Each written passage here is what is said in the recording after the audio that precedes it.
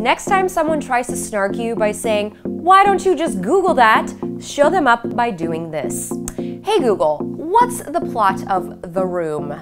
Here's the synopsis of The Room. A successful banker's Tommy Wiseau, fiance Juliet Danielle. Was that so hard to answer?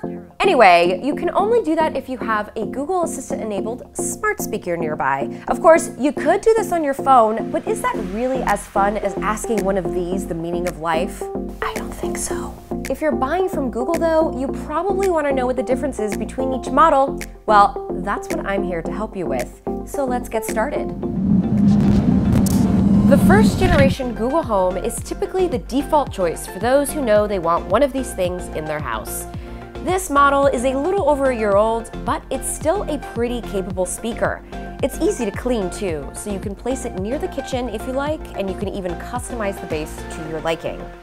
The only bummer, my friends, is that this does not have an external audio jack, which means you can't hook it up to other speakers in your house. But it does offer Bluetooth, so if someone's in your house and they want to stream some tunes, they can easily do so without downloading the Google Assistant app. If you like something smaller and a bit more discreet, or you just prefer to pay the least amount of money possible to bring one of these things home, the Google Home Mini is a nice little package. Now this one is a smaller speaker than the Google Home, so if playlist playback is your primary concern, maybe you want to think of this one instead. But like the Google Home, it offers Bluetooth connectivity, so anyone in your house can connect to it to play music, whether or not they have Google Assistant installed. There's no audio jack on this one either, but if you're feeling brave...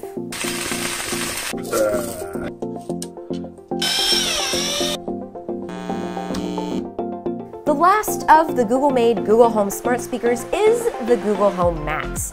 This is the one you want if you're an audiophile.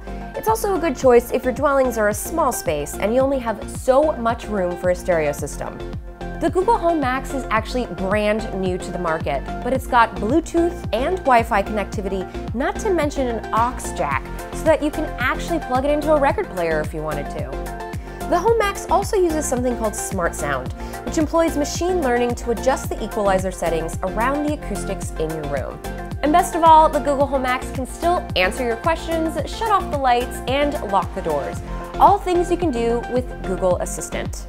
Of course, there are a couple of third-party Google Assistant smart speakers that might offer something a Google smart speaker does not. JBL, Sony, and Panasonic are a couple of those brands, just to name a few. Whichever smart speaker you bring home, just remember, they are not a replacement for human interaction. Please leave your house. But I love you. For more information on smart speakers and the Google Assistant, be sure to check out dgit.com or subscribe to us here on YouTube. Yay!